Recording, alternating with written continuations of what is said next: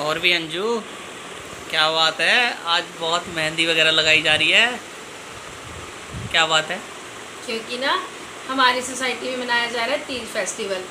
तो इसलिए सभी लेडीज़ मेहंदी लगवा रही थी। तो मैंने सोचा, मैं भी लगवा लूँ।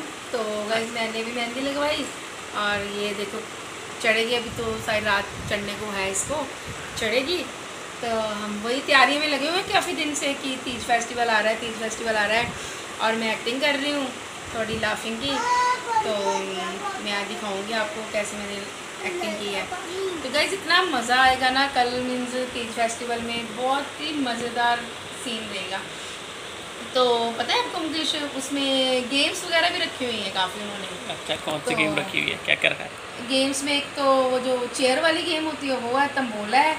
एक सरप्राइज़ गेम बता रही थी। मान्या मैडम ना। अच्छा और कुछ खाने पीने का कुछ है प्लान खाने पीने का भी बहुत कुछ है पर वो आपको भी वीडियो लास्ट तक देखनी पड़ेगी। अच्छा। और जेंट्स जा सकते हैं? Gents not allowed Teej festival में जेंट्स क्यों अलाउड होंगे क्यों? मेरी। एंट्री करवा दो। आपकी तो हो ही जाएगी एंट्री खाने में बैठ जाना आप।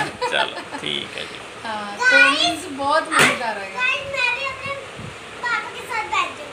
हाँ तो कल लीज़ा भी कह रही, मम्मा मेरे मेहंदी लगवा दो। मैंने कहा, पहले मेरी सूखने दो, फिर मैं लगाती हूँ तेरे मेहंदी।